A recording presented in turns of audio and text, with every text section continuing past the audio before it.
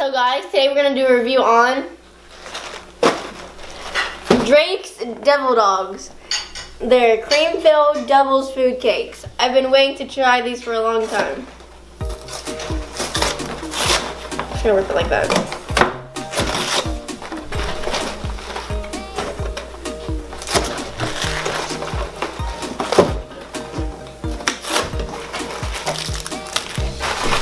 I'm gonna let my dad try one. All right, toss one here. Oh, nice catch, nice throw.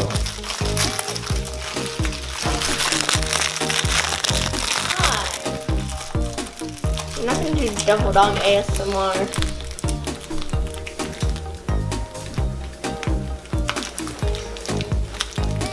It's a little bit dry. You gotta have it with milk.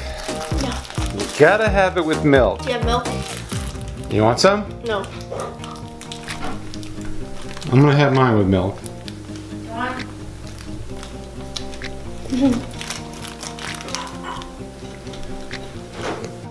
It's very creamy.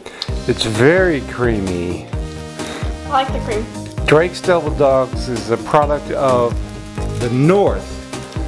And we haven't had them in the South uh, ever since I moved down here 30 something years ago. And recently, Walmart started stocking them. And I was very happy about that. We would only get them when we would visit my family in Massachusetts. So now we can get them anytime we want. Milk. I want it.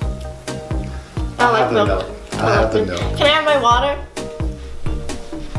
So guys, these are very tempting. That's why they're called devil dogs. So go out and try them.